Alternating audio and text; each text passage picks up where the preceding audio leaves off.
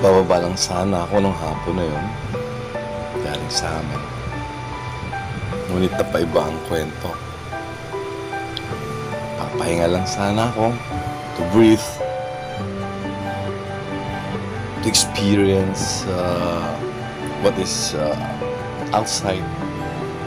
Enjoy. Hanggang sa nakausap ko ang isang kapitbahay.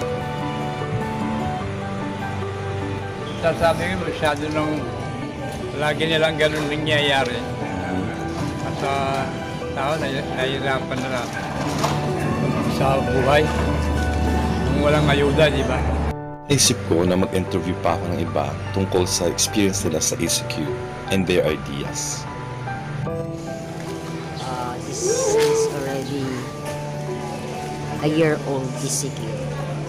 And I believe it's gonna be um, extended for another two to three years. And what's gonna happen with the people? According to her prediction, naabot pa ng 3 years.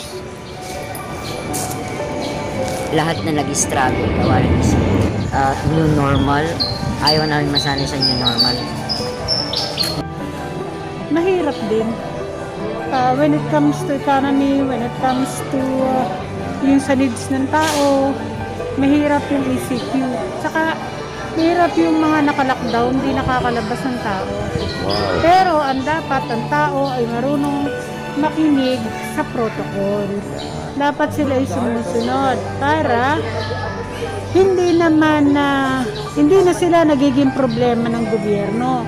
At at the same time, sa pagsunod, sila ay nakakatulong pa.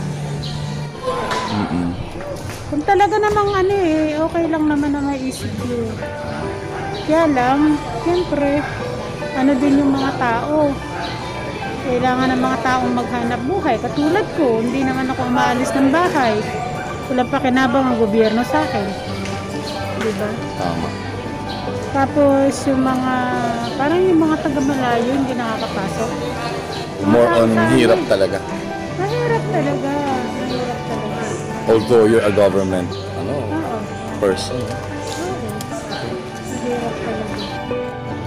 Naisip ko sila. Akala ko ako lang mag-isang nahihirapan o hindi nakapag-adjust. Marami pala kami. Kapit-bahay.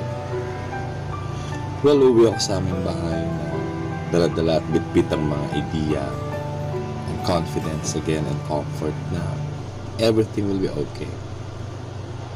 Mahaba-haba man ang biyahe pa, pero kailangan maging kalmante ako at ilagay sa isip na things will be okay sa darating na mga oras.